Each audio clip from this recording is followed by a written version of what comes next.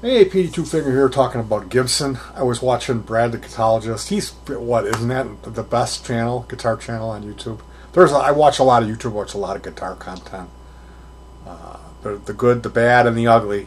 Philip McKnight, Scott Grove, Pete Thorn, uh, those pedal guys, uh, Chappers and the Captain, and then you have like the lower like you know, like Circle of Tone. Uh, dare I say it, Will's Easy Guitar seems to. Uh, maybe he knows what he's doing. Um, has certainly has a following. So I'll leave that at that. Now, checking out the Guitarologist, I really uh, enjoy watching his content. It's uh, from the heart. He seems like you could trust what he's saying. You know, like he's a Midwestern type of guy. Maybe not. Maybe he's a little hillbilly in him because he, where he's from. But I don't know if he's from Kentucky or where he's from, but he, he's the type of guy that you you would trust him. You think it would be easy to do a, a deal with this guy uh, or bargain with him. And when you're watching his YouTube, you tend to take what he's saying from the heart because that's how he speaks. He's not full of shit. He's not hung up on himself. I I've met a good percentage of my life uh, people that are musicians, and a lot of times what I find, especially with um, guitar players who are good, if they're good guitar players, those guys usually I, they've got this certain kind of attitude about them, especially the way they, they, they relate to gear, as opposed to less skilled players. Like I'd be I'd be much more comfortable talking to a guy who kind of sucks about gear because they're gonna know. they're gonna be able to tell you what's really good and what's garbage. Where the guy who is the pro, the uh, the ringer, the guy who everybody in the town wants him to play lead in their cover band. That guy, more than likely, doesn't know shit about pedals.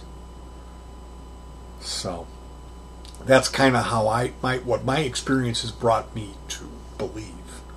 Uh, I could be wrong. There's probably some great players that are into pedals out there. I know for a fact there are. And boy, that's really changed. It really has. And a lot of that has to do with just the internet and guitar channels stuff like the Japanese companies making cheap pedals, Mooer making the $35 rat or 20 $18 rat pedal, whatever it is you find now. Um, so that's all really exciting and fantastic as a guitar player to see the market bloom and blossom. And some things, some things stay the same. We have Gibson uh, just messing up, messing up big time, uh, and that's one of the things that I enjoy uh, about Brad the guitarologist. So if you, if you're a musician, guitar player, that type of person, and you haven't for some reason checked out his channel, uh, I think it's really the cream of the crop. I, you know, like I really love watching Scott Grove. I do. The guy is hilarious. He is like the John Belushi of the guitar player. He's just naturally funny to me. And uh, his thing is like it's completely different than my approach, but I still I I can watch him.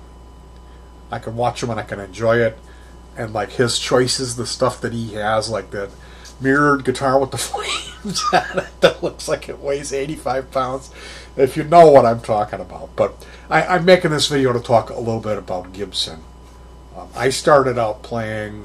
Um, I played an acoustic. I lost my fingertips, and then I bought a electric guitar off of this kid, Jason Mills. His dad had garbage picked it, and it was a. Um, it had a fake Bigsby on it. It was a hollow body with a floppy neck, and he sold that to me for ten dollars because that's all he told me. He said, "Yeah, I got one, but it's really it's not good." and that's why he got rid of it is because he couldn't even keep it in tune. And I don't think he was a. Uh, I. He's not a guitar player. I, I think I don't think he would be upset with me saying that. I knew him later on in life, and he never played. So, I, I had that for a short time, and then a guy uh, dropped off a box full of Electro-Harmonix pedals. He had found Jesus, and he didn't want to have anything to do with the demons of rock and roll. So he dropped off this box with a big muff, a big honking Morley wild leather straps with frills on them. All this like Jimi Hendrix era, like Screaming Tree, Treble Booster, all these super noisy pedals. Power supplies, cable, like cables. I still have one of the cables. Thank you very much, Peter, by the way, for that. He's not watching.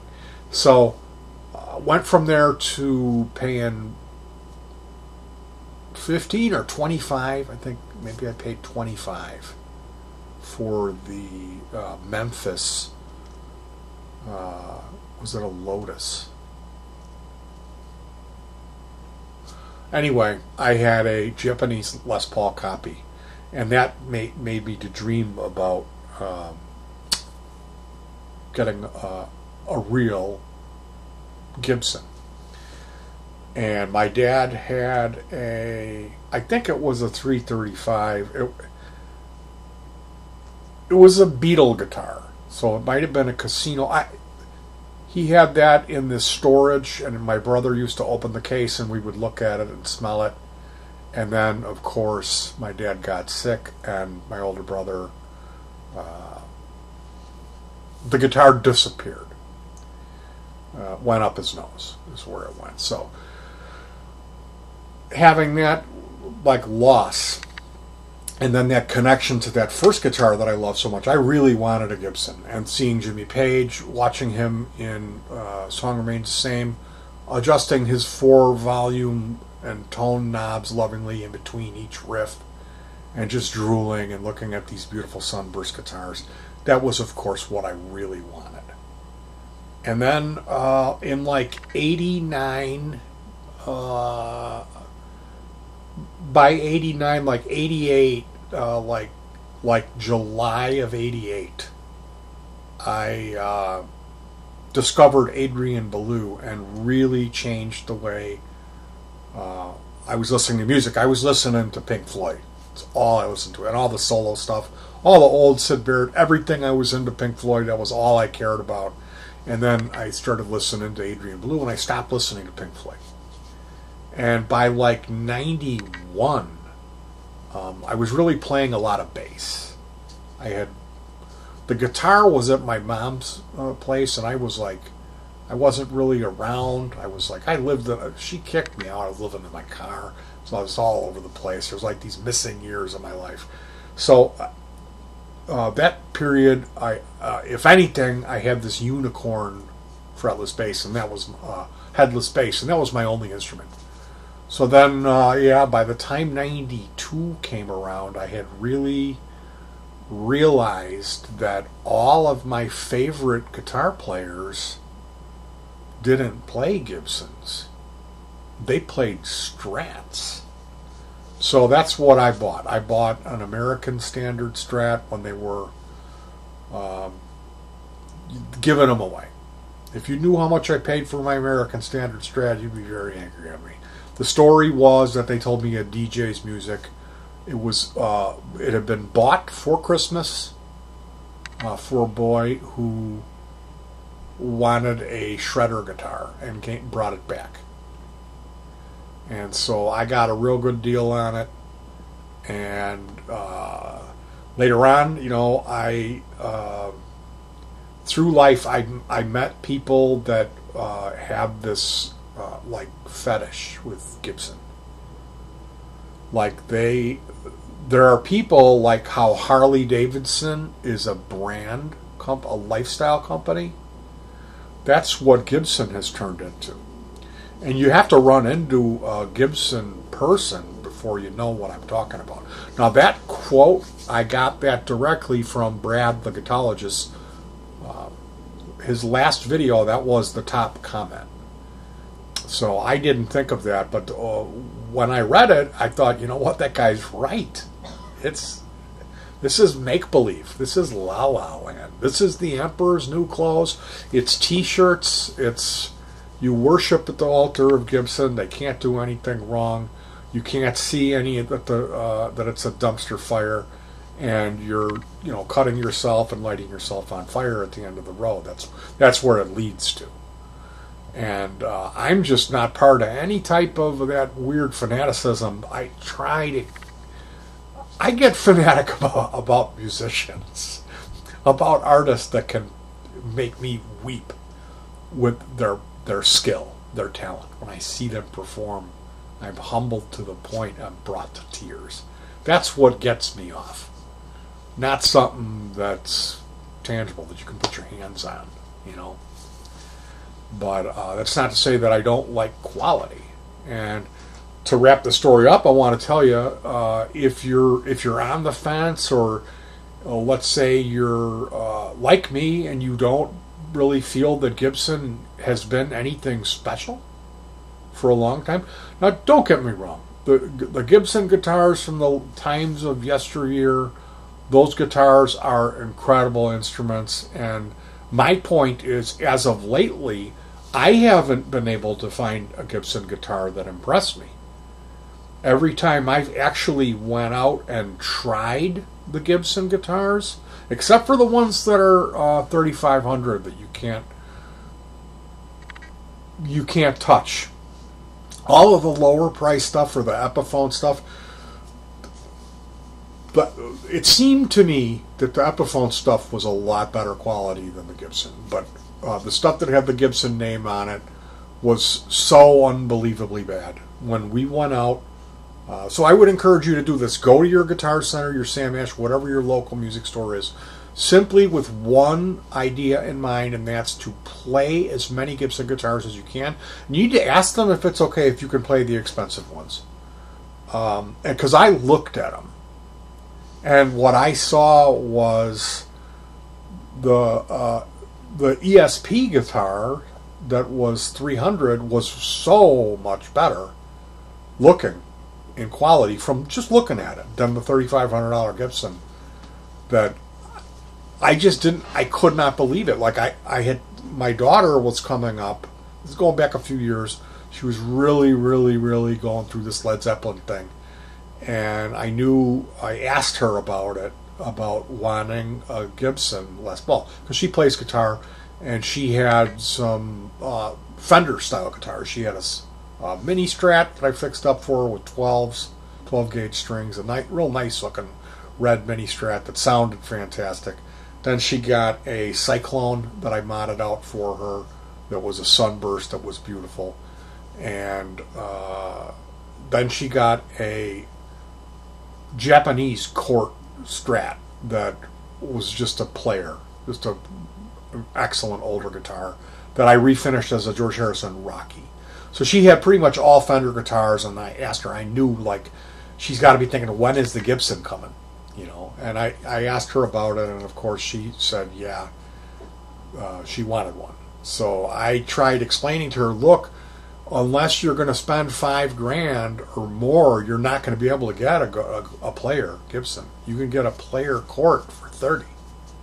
But the Gibson, if you're going to pay 800 even, you know, for a mid-grade whatever they're throwing down there or the cheap the cheap ones are um, like we looked at them, we went. I took her to the guitar store. I said because she didn't kind of believe me.